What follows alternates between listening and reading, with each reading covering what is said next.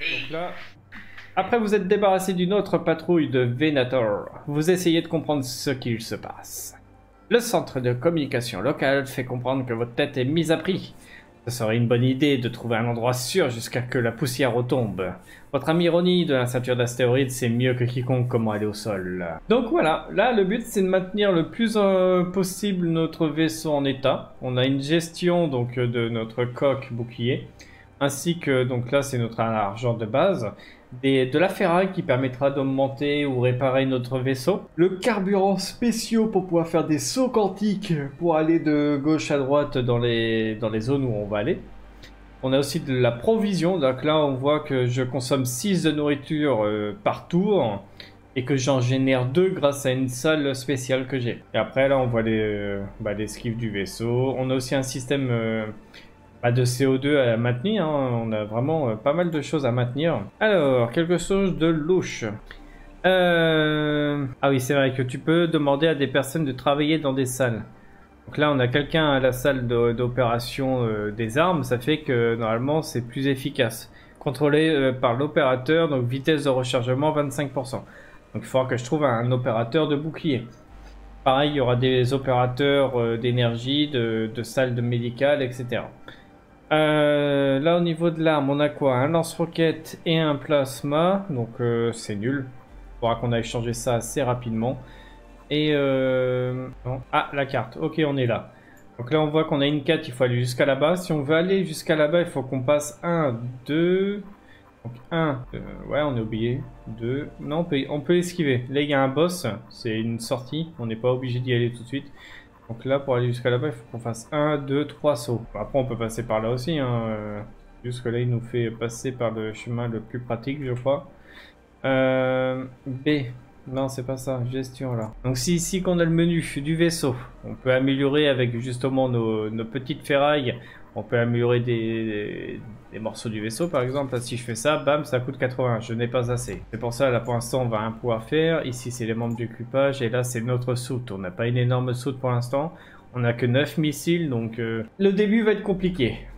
Alors, là, ce qu'on va pouvoir faire, c'est qu'on va voir pour, euh, bah, pour faire un saut déjà. Thème nébuleux, j'aime pas trop. Trou noir, j'aime pas. Donc on va...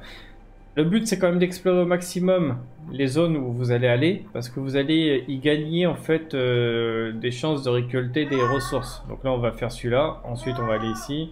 Là, là, là, là et là-bas. Comme ça, on va à la quête à la fin. Et on a assez normalement pour faire tout. Allez. Alors, l'un des clans de pirates du système actuel essaie de vous contacter. Il suggère que vous de chercher un trésor, d'accord? En voilà une surprise. Et vous devez vous décider rapidement. Euh, c'est un pirate, ça m'intéresse pas trop. J'ai pas envie d'avoir euh, des ennemis sur la tête. On va rejeter le projet. Un pirate qui offre quelque chose sans condition, ça semble suspect. Tout à fait d'accord. Il gagne quoi? Je sais pas c'est quoi ça. De l'expérience, d'accord. On fait pas attaquer, c'est bon Bon. Vous avez vu, je perds de la nourriture à chaque tour. hein. Alors, vous passez devant un petit vaisseau civil, un Etari à l'allure aristocratique vous salue et se présente comme un artiste. Pour une raison quelconque, l'Etari vous perçoit comme un vieux chien de l'espace. Alors, il vous demande de quoi dessiner. Vous asseyez, réfléchissez. Euh, on va lui raconter une histoire inspirante. Donc on se remémore nos aventures, euh, on lui raconte à l'artiste une histoire merveilleuse.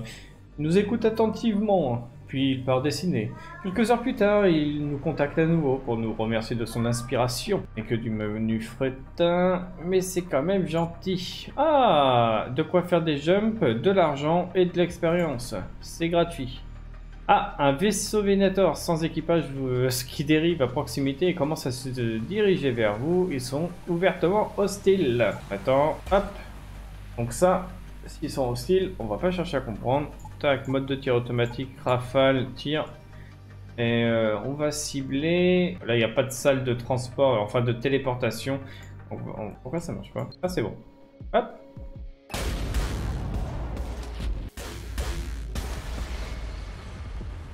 Est C'est un petit vaisseau qui avait pas d'équipage, donc c'est assez facile. Ouais, c'est vrai que plus on va avancer dans le temps et plus on aura une prime. Euh, je vais juste vérifier s'il n'y a pas moyen que je fasse des provisions. Voilà. Je vais le- je vais l'augmenter, même si après derrière euh, il, il restera plus grand chose, mais au moins on utilisera moins de provisions par jour. Ah, je suis obligé de passer par là. On va passer par la nébuleuse. hein. J'aime pas la nébuleuse, en général faut pas y rester longtemps sinon on prend des dégâts inutiles. En passant devant la station abandonnée, vous remarquez plusieurs remarques, enfin plusieurs marques qui l'identifient comme une base de mercenaires.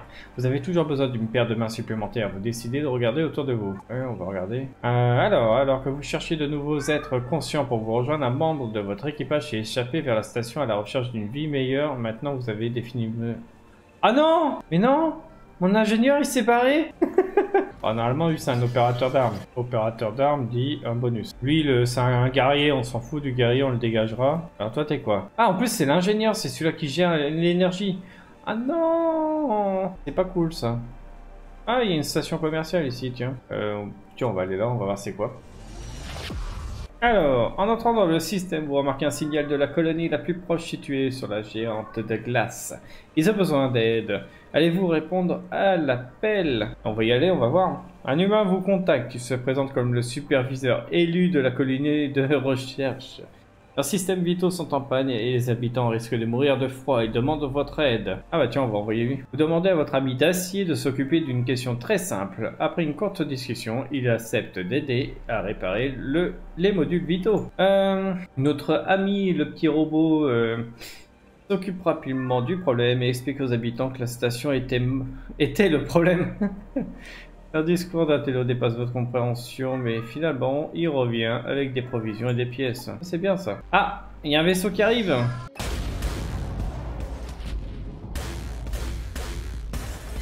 Morale de l'unité, expérience, crédit, ferraille. Ouais, bon ça va. Alors, on est tombé sur une station commerciale, donc on va pouvoir échanger des ressources. Station. Je sais même plus comment on fait. Ah non, c'est vrai. Alors au bar, euh, qu'est-ce que nous avons? Le guerrier, je m'en fous un petit peu, donc... Euh... Il n'y a que des guerriers. On a déjà un opérateur d'armes, on n'a pas besoin. On a déjà un pilote, on n'a pas besoin. Et euh, les guerriers, on s'en fout. Donc pour l'instant, euh, on fout un petit peu d'eux. Ah c'est vrai que contre de l'argent, tu peux augmenter tes, tes modules. Euh... Le petit système, ça pourrait être intéressant. Euh... Comme ça, on n'utiliserait plus de nourriture, ou très peu. Ça, ça serait bien. Ça, on s'en fout pour l'instant. Ah oui, il faut qu'on change d'arme, on avait dit. Module de contrôle, euh, on s'en fout. Ça aussi, on s'en fout pour l'instant. Euh, au niveau du commerce, donc... euh, attendez, je vais d'abord regarder il y a quoi comme arme, parce que c'est bien gentil de les vendre, mais si j'ai pas ce que je veux... euh, 2500, ça coûte cher. Ça, ça fait quoi? Là, ça peut être bien, mais il en a qu'un. Il y en a un deuxième, mais ça vaut pas le coup non plus. Celui-là, il est très très bien, mais euh, trop cher. Je, je peux pas me permettre. Euh, Celui-là, par contre, je peux me permettre. Moi, ce serait 500. Au pire, je peux acheter euh, une voiture. J'ai plus rien. Je vais peut-être en prendre un petit peu. On va prendre de la ferraille. Après, est-ce que je peux avoir un truc pour une petite augmentation pour pas cher? Ah oui, on peut me mettre en euh, pilotage automatique comme ça. Hop. Je pense qu'on va être pas trop mal comme ça. Accepté. On a les tourelles installées. On a les personnages. On a augmenté un peu le vaisseau. En fait, on a accès à tous les menus à partir du moment où t'en ouvres un. Ça va. Donc là, je consomme combien? Ah, faut que je vois pour augmenter euh, le thème de nourriture là. Ah non, il est déjà augmenté. Ah oui, mais je l'ai augmenté, mais je sais pas de quoi. ah, j'avais oublié ce détail. Il faut mettre de l'énergie dedans après aussi. Euh, j'ai pas assez. Là, actuellement, l'hyperpropulsion, on s'en fout. Voilà. En fait, tu peux augmenter les trucs, mais si tu mets pas euh, l'énergie dedans, bah c'est... Ah, j'ai fait le con. J'ai pas assez d'énergie pour euh, générer, enfin pour euh, pour tenir l'armement. Donc là, j'ai plus qu'une seule arme. Donc euh, le temps que je trouve rapidement euh, ce qu'il faut. Bon, bah on n'est pas dans la merde. Oh, c'est quoi le décor derrière là? Tombé sur quoi? Recevez une demande de travail de coursier dans le système. Le travail semble pépère, mais vaut-il la peine de s'y attarder? C'est quoi les demandes?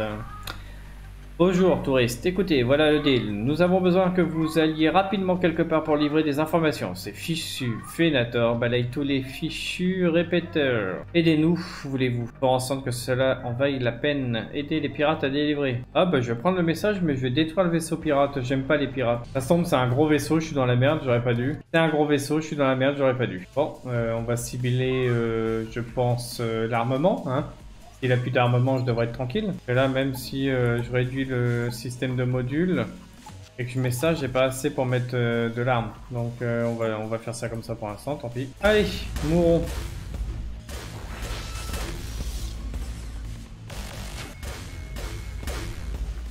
Allez, c'est bon. Encore un petit peu et son, armement, il va prendre cher. Ah, son bouclier revient. Allez Heureusement que je cible son armement, il a du mal à me tirer dessus après parce que son armement se fait détruire de plus en plus en fait.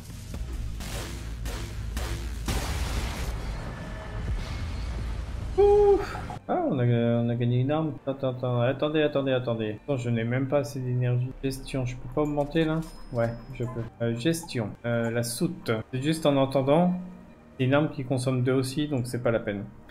C'était pour voir si c'était une arme qui consommait 1 ou 2. Comme ça, j'aurais pu euh, mettre quelque chose, mais là, c'est pas la peine. Alors, niveau supérieur, on va mettre les PV. Alors, soit je peux esquiver 50% des dégâts, soit je réduis les dégâts permanents de 25%. Les dégâts permanents, je pense que c'est mieux que 50%. Ensuite, ici, on va mettre les PV. L'opérateur de arme, bah c'est pareil, je veux euh, que les dégâts qu'il subit sont réduits de 25%. Voilà. Donc j'aurais pu y mettre des PV parce qu'il a pas beaucoup de PV le, robot. Oh c'est pas grave, allez. Euh, c'est un truc avec une tête rouge comme ça, je crois que c'est un ennemi. Donc nous on veut justement euh, récupérer des ressources, donc on va aller euh, l'attaquer.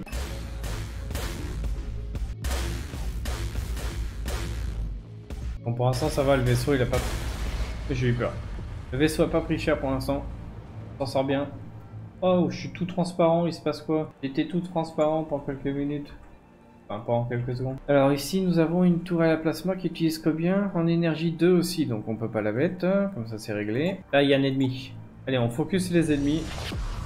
Il nous faut des ressources. Euh... Vous recevez plusieurs signaux d'aide d'une planète Raki. Leur planète s'est transformée en une bombe géante après une expérience d'état... Ah d'accord, supermarché, l'état est très con.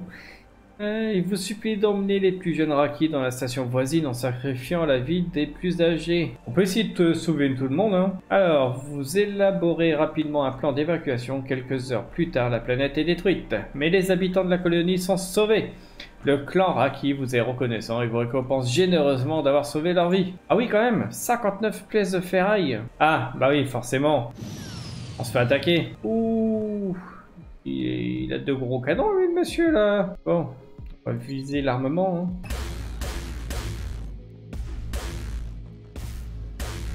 Oh là là, heureusement qu'il a raté. pour l'instant, j'ai de la chance, il loupe beaucoup de ses tirs. Pourtant, j'ai pas vraiment d'esquive, c'est juste grâce à lui, là, j'ai 3% d'esquive. Ok. Alors, normalement, maintenant, j'ai assez pour encore mettre un point. Ah, non. Si, peut-être, oui. Maintenant, à chaque fois qu'on arrive dans un truc, voilà, c'est ça. Donc là, par exemple, l'oxygène, je peux réduire de 2 et mettre les points. Comme ça, j'ai ma deuxième arme. Et avant de refaire un saut, je remets l'oxygène dans... en route. Parce que là, pour le combat, j'ai pas besoin de l'oxygène, en fait. Ah, c'est mieux avec deux armes. Hein.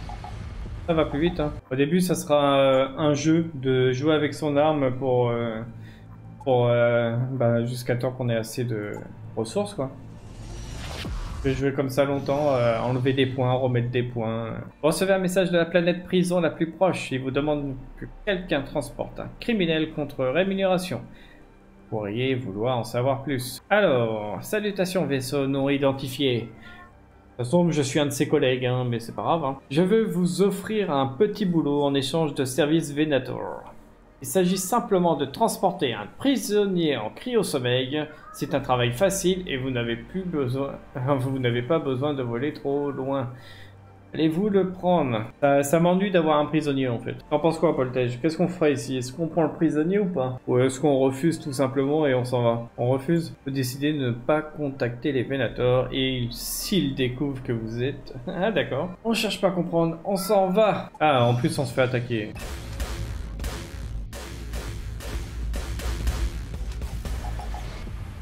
Pour on s'en sort bien. Hein. Notre coque, elle a pas pris beaucoup de dégâts. Euh, est-ce qu'on finit d'explorer les trois trucs avant d'aller à la mission? Je pense. Hein. Il faut explorer au maximum au début. Hein. Vraiment. Si vous explorez pas, vous n'avez pas de ressources, vous avez rien, vous être bloqué. Ouh Vous entrez dans un système plein d'autres vaisseaux. En regardant autour de vous, vous réalisez rapidement que c'est une station de casino. Amusement, jeu, ce qui est cœur désir, mais pas gratuitement bien sûr. Euh, Est-ce que je fais un truc ici? Parce qu'il y a peut-être moyen de faire quelque chose au casino, mais euh, dépenser de l'argent, j'en ai pas beaucoup, donc ça m'ennuie. Peut-être aller faire un truc avec les Vénators, mais ça me fait chier. Je pense qu'on va juste s'envoler avant de gaspiller son argent. Je sais pas si ça a un intérêt euh, quelconque d'aller dans un casino. On est en mode survie là. Notre survie dépend de notre argent. On va pas gaspiller notre argent inutilement. Vous décidez de vous envoler avant que votre équipage ne s'en rende compte. Vous pourriez vous retrouver coincé ici pendant des jours, voire des mois. Vous décidez d'attendre que l'hyperpropulsion soit chargée et de partir. Dès que vous entrez dans le système, ils veulent vous réduire en miettes. Ce système ne fait pas d'exception. Et quelques tirs ennemis vous poussent à riposter. Ah, ils ont une salle de téléportation en plus. Ça là, les deux traits, ça veut dire que c'est une salle de téléportation. Donc si je la cible pas, ils peuvent euh, se retrouver dans mon vaisseau en fait.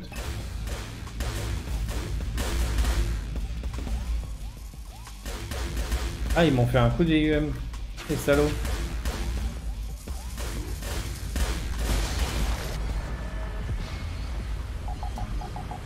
Alors, on a gagné des ressources précieuses. Ah, une tourelle de plaster.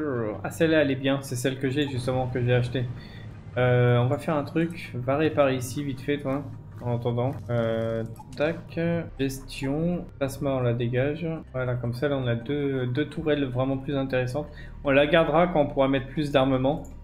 Là, pour l'instant, on est vraiment limité au niveau de l'armement. Oh, on a pris euh, des dégâts, là. Ça coûte cher à réparer un vaisseau, donc euh, bon, c'est pas grave. Ah, bah, il y a déjà quelqu'un ici. Grave, on va aller à celui-là. Vous entrez dans le système et vous vous retrouvez soudainement au milieu d'une course spatiale. N'oubliez pas qu'il s'agit de la course rouge aux règles du hasard. Ce qui signifie que vous n'avez que quelques secondes pour prendre une décision. Euh... Haha Vu qu'on a un pilote, on peut avoir un bonus. Allez, vous accélérez euh, l'hyper-propulsion à la vitesse maximum et vous tenez fermement les commandes du vaisseau. Vous avez attendu ce moment toute votre vie et maintenant vous allez certainement pas perdre la course. Vous finissez premier en manœuvrant rapidement entre les batailles et les vaisseaux spatiaux. Vos fans sont fascinés par votre habilité à piloter. Peut-être que vous auriez dû devenir pilote de course. Ouh, gagnez pas mal de trucs là. Ah, bah forcément. Ça m'aurait étonné, tiens. Ellie, pa, pa, pa. Bon, on va aller euh, sur la quête. Ah, attendez, je... Euh, en route vers la ceinture d'astéroïdes, il devient évident que quelque chose ne va pas ici. Les stations sont silencieuses, aucun vaisseau en vue. Vous remarquez des émissions étranges sur vos capteurs qui émanent d'un module de recyclage des décès. Alors, bon, on va envoyer euh, notre robot. C'est justement la meilleure chose pour, euh, pour faire ça. Vous demandez de l'aide à votre ami de métal. Il accepte volontiers d'examiner l'anomalie. Votre Taeki... Voilà. Taekikon. C'est quoi ce nom? Revient deux heures plus tard, un robot sur le dos. 104 pièces de ferraille Ça c'est bien L'astéroïde s'est avéré être un abattoir. Les réponses sont cachées dans le Kitiki. D'après les signes sur son corps, son numéro est 23 31 14. Il sera difficile de l'allumer. La moitié de son cerveau a brûlé. Vous devez trouver quelqu'un qui peut le redémarrer malgré l'interdiction. Serait bien de trouver un, qui a déjà les conditions. Ah, une station pirate. Il n'y a aucun autre endroit. On en avait une de station de pirate tout à l'heure. Ah, on se fait forcément agresser là. Vivement que j'ai assez d'énergie pour laisser les trucs en automatique. Hein, parce que là. Alors, toi, retourne dans le système de propulsion, merci.